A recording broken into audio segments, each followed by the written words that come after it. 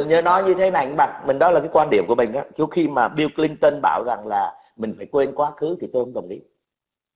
Đất nước ta không thể nào quên được, không bao giờ quên được, nhưng mà chúng ta tha thứ thì được. Tất cả, giống như tôi nói đây nè, tôi nói đây là tôi nói cho các anh ngụy cho nó vui thôi, chứ còn các tôi nói ra tôi cũng bằng thừa. Cái người cộng sản họ chết nhiều hơn các anh á. Tôi nói thật sự nhưng những người mà phi công mỹ bị bắt cầm tù, khi trở về họ vẫn đón mừng rất là vui vẻ. Bởi vì sao? Đó là cái tinh thần mã thượng quân tử của một người dân việt. Các anh phải học đó. Chứ đừng có học cũng giống như tôi có một người bạn rất thân. Anh đó là thiếu tá hải quân. Thì anh nói một câu này, tụi việt cộng coi vậy chứ nó rất là quân tử. Đủ mẹ tôi về là đủ má nó đón tôi giống như là một người bạn thân mà nó không có gì mà trước khi tôi bắn đủ, mà không biết chết bao nhiêu thằng gì cộng đó mới là cái tinh thần quân tử tại sao ngày hôm nay mình có như vậy? Bởi vì đảng cộng sản đã đi theo chính sách, đúng theo cái chính sách của của nhà lý, nhà trần, nhà lê. Khi mà đánh thắng sang quân quân quân quân tống, hoặc là đánh thắng quân nguyên, hoặc đánh thắng quân quân minh, quân nhà nhà minh, việt nam mình vẫn trao trả lại và vẫn đối xử một cách đàng hoàng. Bởi vì sao? Ở cho nên cái nhân bản ở việt nam là chỗ này, cho nên việt nam là quân tử chỗ này. Khi bước chân vào cái, vào chính trường thế giới, thì tất, khi mà, khi việt nam được vào liên hợp quốc, thì phái đoàn việt nam mình bước vô trong liên hợp quốc, thì tất cả các phái đoàn khác của thế giới đứng lên vỗ tay chào mình bởi vì cái tính nhân bản đó, mình không phải hung hăng như cái thằng mỹ. Mình không phải hung hăng như thằng tàu. Tao thắng mày rồi, tao hung hăng, không phải vậy. Chúng ta là người chiến thắng, nhưng chúng ta là con người có nhân bản và văn minh. Cho nên cái khi con người Việt Nam mình, đó là cái mẫu mực. Còn các anh, nó tôi nói thật đấy, có những cái gia đình là tôi đã ra Bắc rồi, tôi ở ngoài Bắc tôi biết. Có nhiều gia đình hy sinh đến những bốn người trong gia đình.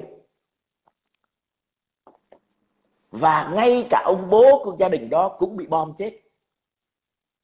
Chứ không phải là nói chuyện nhỏ như Việt Nam, miền Nam nên miền Nam nói ra chứ cũng không hy sinh nhiều, trừ những gia đình bị thời cũng gọi là luật luật luật luật 10 năm 9 của của ngô đình diệm tiêu diệt thì mình không dám nói. Chứ còn thực chất ra cái cuộc chiến nó không tàn khốc như ở miền Bắc. Đọc cái quyển mà nỗi buồn chiến tranh mẹ của của của liệt sĩ đã phải gục xuống. Bởi vì một ngày nghe ba cái tin chết. Mà họ cũng tha thứ được. Các các anh chỉ là một cái thứ hèn, cho nên con người hèn, nó mới nhớ đến những cái chuyện đó tại sao không phải vì cái mục đích chung bây giờ các anh không thể nào dựng được các thân người thân của anh giờ ngồi dậy được. Cuộc chiến này nó như vậy, thì hãy chấp nhận như vậy. Chúng ta phải tha thứ những con người với nhau. Phải nhìn nhau rằng là ờ đây cũng là một người da vàng, đây là cũng người việt. Mình hãy cùng tay nhau để đi đến tương lai. Đừng bao giờ, bố tôi cũng chết trong cuộc chiến. Tôi nói thẳng, bố tôi chết năm 75 trong cuộc chiến. Cậu của tôi, cậu ruột của tôi cũng chết trong cuộc chiến năm 72 ở ở ở ở ở Quảng Trị. Nhưng mà các anh cứ lôi những cái cái cái cái người chết ra ra. Nếu mà tôi lôi bố tôi ra chắc bố tôi còn bột tai đã đi tôi nữa. Tại vì nó nó không, anh không làm gì được. Nó đã quá rồi. Thì bây giờ ngày hôm nay vậy còn nhiều người cứ bảo rằng tại sao phải gây cuộc chiến này? Thì các anh hãy ngồi coi lại coi Ngô Đình Diệm đã làm gì. Đừng có bao giờ đổi cho cộng sản. Còn cuộc chiến của thống nhất đất nước phải thực hiện phải làm có chuyện đó chuyện dứt khoát phải làm. Cũng giống như điện biên phủ mình phải làm cho dù phải đổ hết tất cả xương máu này mình phải làm. Đó là cái danh dự của dân tộc. Đến ngày hôm nay mình có đến ngày hôm nay đều phải có những vậy. Còn không thì mình sẽ mãi mãi như người Mozambique mình cũng sẽ mãi mãi như những người mà giống dân mà mễ thế cơ. Mình khác với họ như vậy.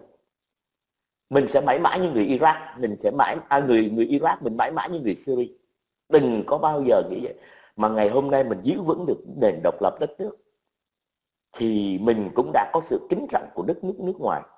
Tôi nói thật sự kính trọng tôi dám nói khẳng định là tôi có có sự kính trọng bởi vì tôi đã qua các nước thế giới. Thì mỗi lần tôi nói tôi người Việt Nam thì họ nói tôi là họ nói cô Hồ Chí Minh. Tại sao lại biết bác Hồ mình trong khi đất nước mình rất là nghèo. Mà họ nói giống như tôi nói Hồ Chí Minh với như, như tôi nói. Mà họ người ngoại quốc. Rồi họ nói điện biên phủ cũng giống như tôi nói cái điện biên phủ. Còn rất nhiều người nói chữ khe xanh thì tại sao mình không nhìn thấy? Đó là một cái niềm mà mình cảm thấy là đất nước mình phải làm. Hãy nhìn cái cái cái cái bắc hàn với nam hàn. Bây giờ những người, những tôi ở bên Bắc Hàn, tôi đến cái cổ chỗ mà cái phân chia đất nước á, thì có nhiều người Hàn rất là già. Nam Hàn họ đứng ở cái cái cái hàng rào họ khóc, họ gục xuống họ khóc, bởi vì họ nhớ quê của họ. Thế thì các anh muốn như dân mình cứ phải chia đôi như vậy, không bao giờ có trên đất nước Việt Nam này và không có trong bất cứ một trong một tư tưởng của người Việt chân chính nào. Đất nước phải được thống nhất. Mà khi mà bác Hồ đã đề nghị rằng là để tổng tuyển cử toàn quốc thì ai từ chối? Bác phải đợi cho đến năm 60 thì bắt đầu mới thành lập mặt trận giải phóng dân tộc. Tức từ từ năm 1954 đến năm 1960 tức là bao nhiêu năm? 6 năm đợi chờ rồi bác mới bắt đầu mới có quyết định để đi đến vũ trang. Chứ thực chất bác không muốn mà toàn đảng cộng sản, toàn toàn những người dân Việt Nam mình cũng không muốn có chuyện đó. Nhưng mà khi tôi đã coi cuốn phim mà gọi là Campuchia, cuộc chiến bắt buộc thì tôi nói thẳng ra không phải là cuộc chiến tranh Campuchia là cuộc tranh bắt buộc đâu, mà từ năm 1945 cho đến năm 1989 Việt Nam mình đều đều có những cuộc chiến bắt bắt buộc hết.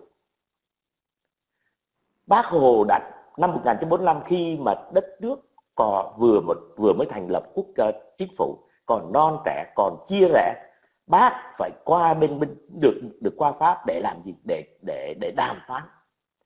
Chịu cay đắng để bước vào để đồng ý cho vào liên hợp liên hiệp pháp chứ. Đồng ý để mà không có để tránh cuộc chiến tranh để, để đuổi được tàu về nước 100 ngàn 200 ngàn quân tàu về nước bác là phải phải cắn răng giờ thì chúng mày chê cười nhưng mà chúng mày không biết được rằng đó là một con người vĩ đại của, của đất nước mà của cả thế giới.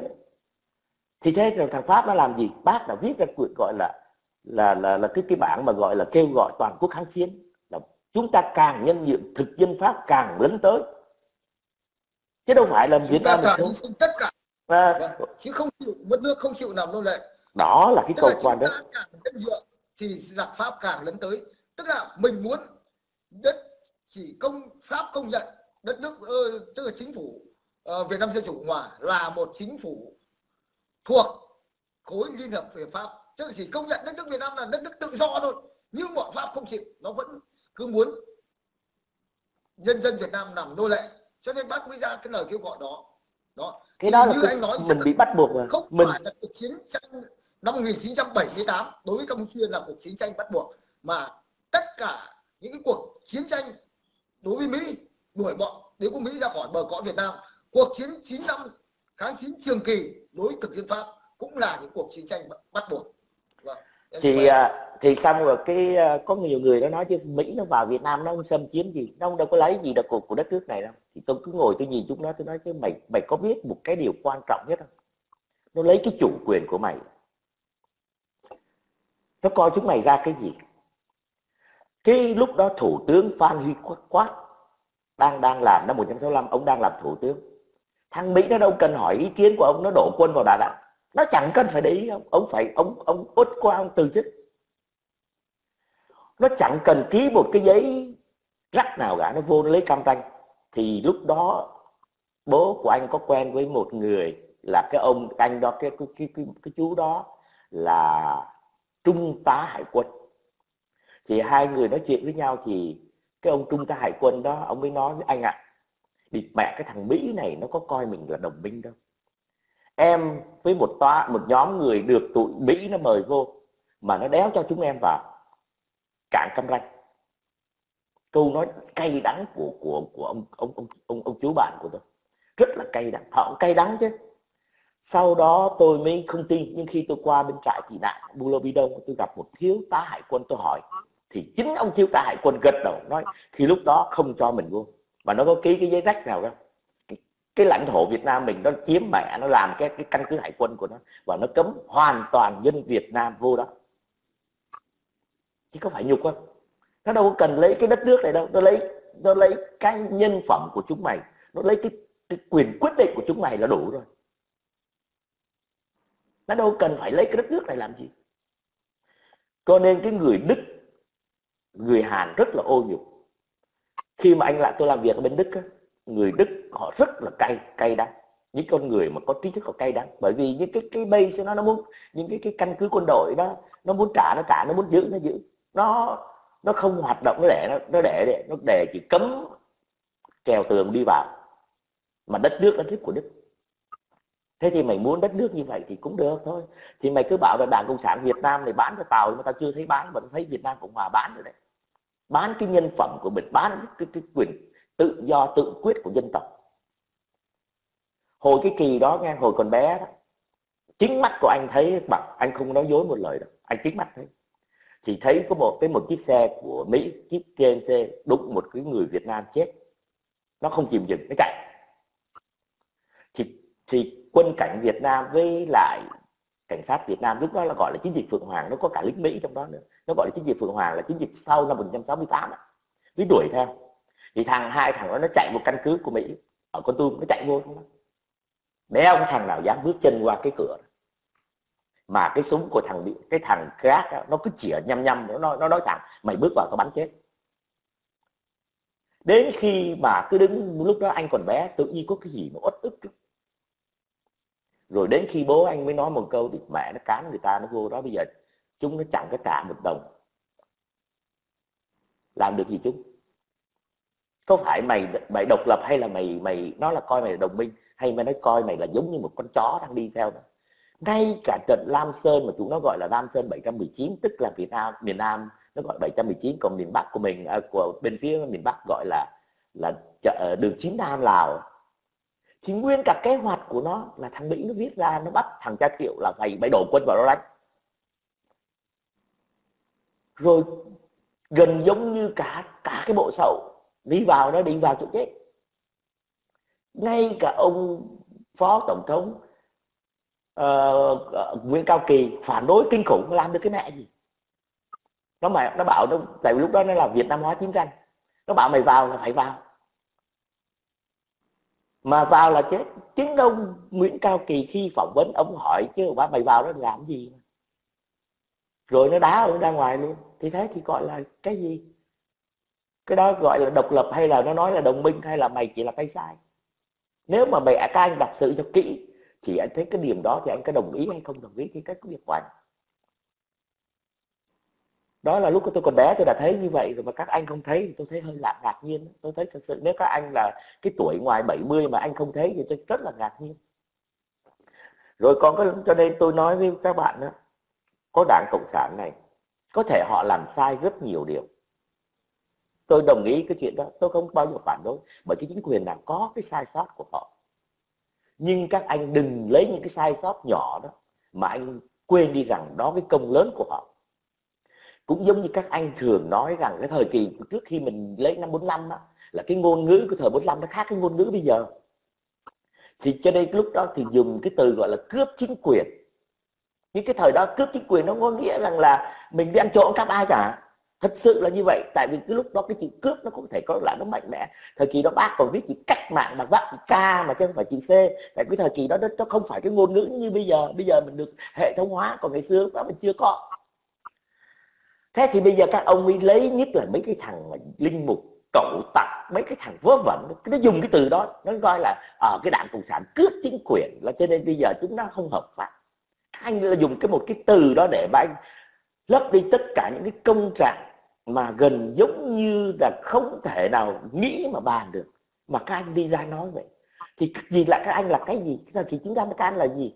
Cái lúc mà đang kháng chiến chống pháp thì thằng trang ngôn diệm làm cái gì? Trốn qua bên mỹ ngồi bên mỹ làm làm chính trị salon. Trong khi đảng cộng sản việt nam máu của họ đã đổ xuống xương của họ đã quyện vào trong cái lòng đất này. Gần như chỗ nào cũng có. Cả nhìn đâu cũng thấy. Tôi nói thật một đất đất của đất nước của Việt Nam này các anh cứ ra ngoài cái nghĩa trang liệt sĩ thì cái cái cái cái cái, cái huyện nào nhỏ cái xã nào nhỏ nhất cũng vài trăm. Họ là những người con ưu tú của đất nước. Hãy nhìn bằng Nguyễn Thị Minh Khai kìa bà là một người mà chứng kiến cảnh chồng chết, cảnh ly tán con phải bỏ lại. Các anh dám hy sinh như vậy không? Công trạng của những con người đã làm ra, họ không phải họ nói bằng mồm đâu. Họ đổ xương máu và cả gia đình của họ bị bị bị bị bị đau khổ. Ngay cả những con của các nhà cách mạng, bố mẹ mất đi, nhiều khi còn lang lang thang ở trên đất nước này mà không biết bố mình là ai nữa kìa họ đã dám hy sinh như vậy thì các anh biết rằng là trời biển. Cho nên cái cái chuyện mà ngay cả những cái chuyện mà đáp đáp đền ơn đáp nghĩa là tôi ủng hộ hết mức. Đất nước mình đang nghèo mình vẫn nghĩ đến đó là cái đảng cộng sản họ vẫn nghĩ đến chứ. Họ đâu có quên ơn ai đâu.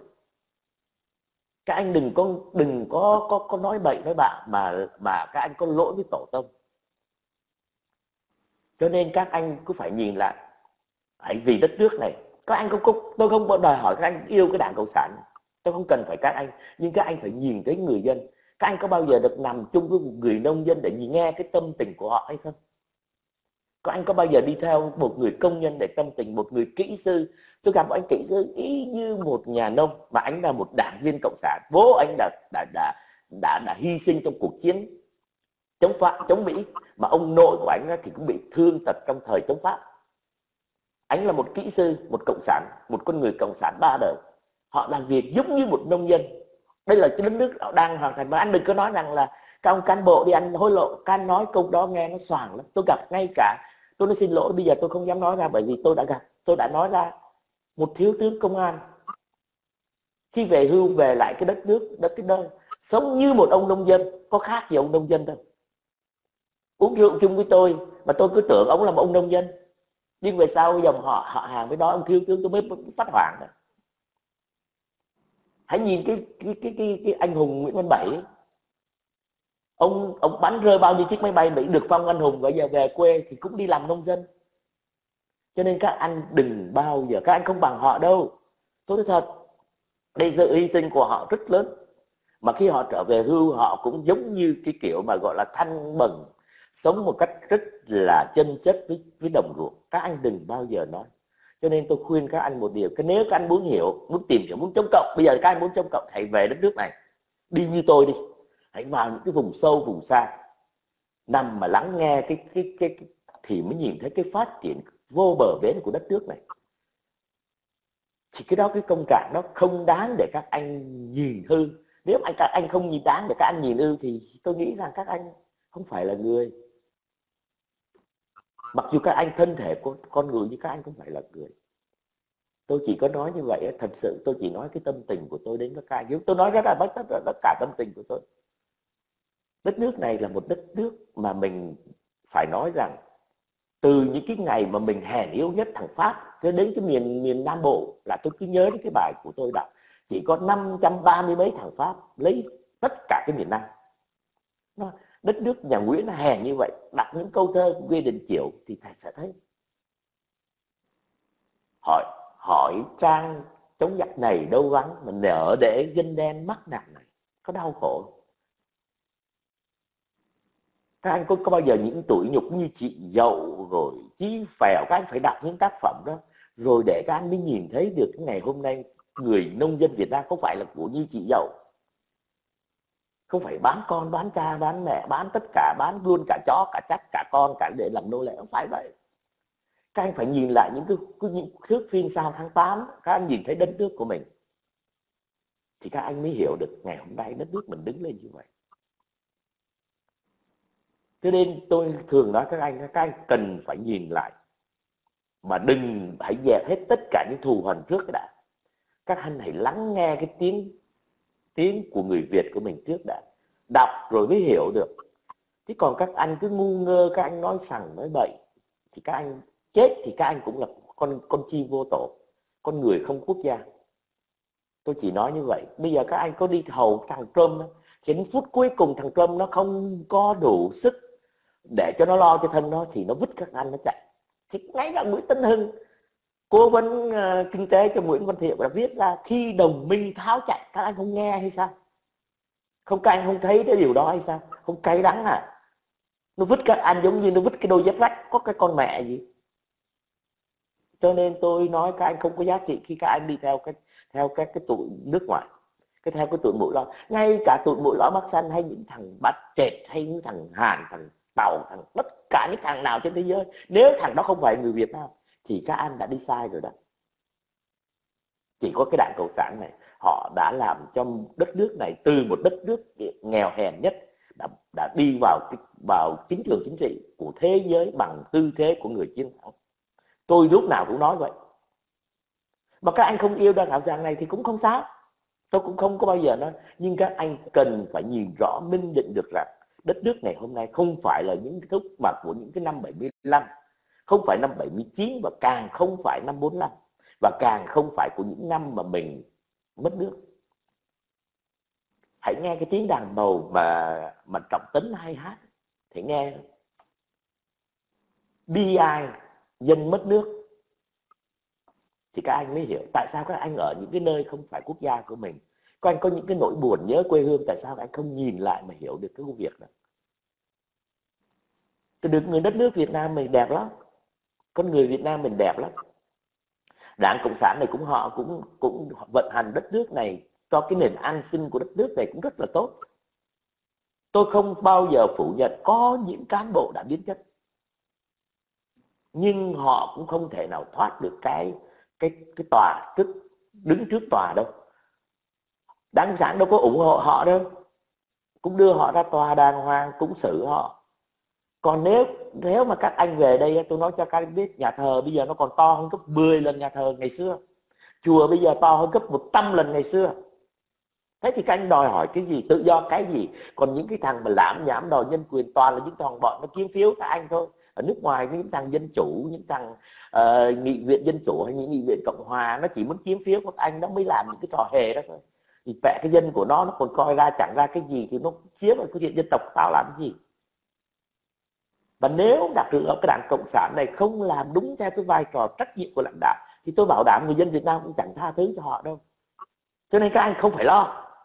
Các anh cứ lo cái nồi cơm nhặt ở nhà các anh, anh lo con vợ các anh nó mẹ tôi thấy các anh cứ hô hào chống cộng như khi con vợ của anh nó bỏ anh anh ngồi khóc như đứa trẻ. Tôi đã thấy rất rõ.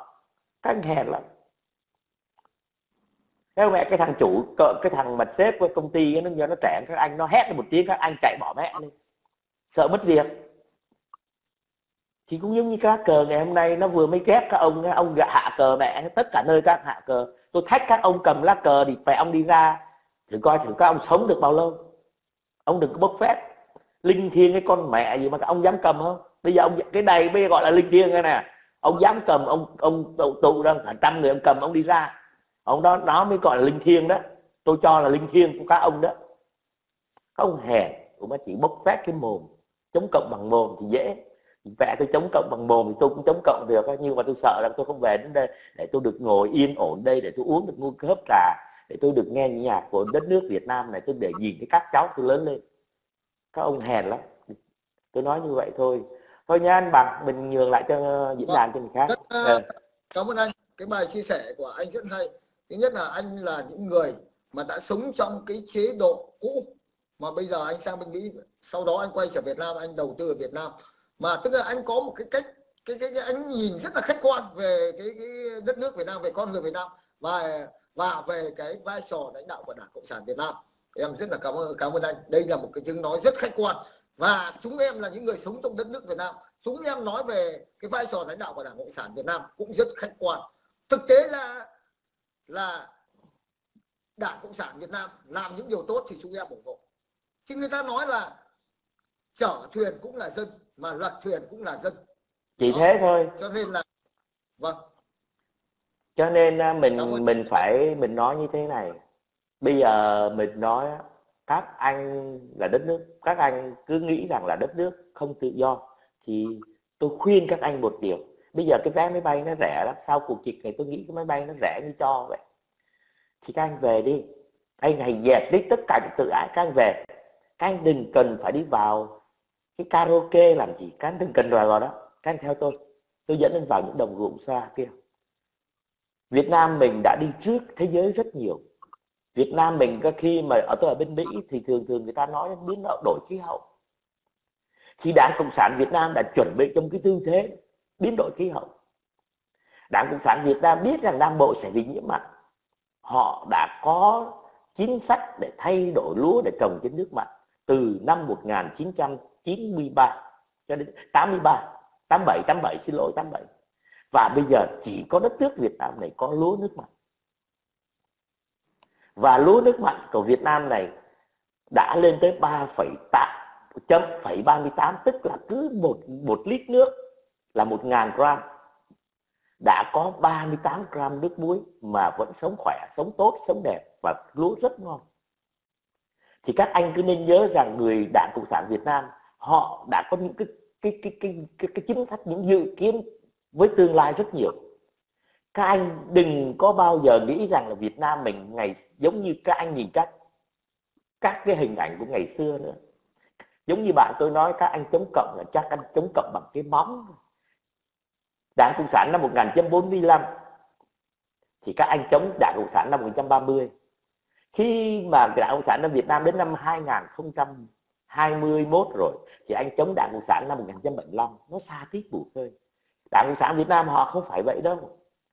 Ngay cả cái cái cái cái, cái chiến dịch mà cái cái chiến cái cái cái cái chiến lược để mà chống dịch này thì chỉ có đất nước Việt Nam này làm nổi. Chưa có một đất nước nào có một cái chiến dịch. Thì anh cứ tưởng rằng đó có một sự chuẩn bị mà đi đầu đi tắt đón đầu hết tất cả những cái sự việc xảy ra các anh đừng tưởng là cái những cái chiếc tàu mà hút ở tụi tàu mà mà các anh tưởng là là là chuyện con ruồi đi đi hút con voi đâu. Không anh các anh đừng nghĩ như vậy. Mà là một chiến lược được bài bản đàng hoàng mà cả thế giới này nó phải nó phải ngã mũ nó, nó thán phục chứ không phải các anh các anh chưa có ra cái lớp nào cả. Các anh chỉ là một những đứa trẻ mới y uông còn trong khi người ta đi học mẹ nó nó nó nó, nó trắng cả đầu ra. Đó là những lãnh tụ mà những, những chính khách sâu giống như kiểu như cô B kiểu uh, giống như thằng cha gì giờ thủ tướng Nhật thằng cha gì mới đây này.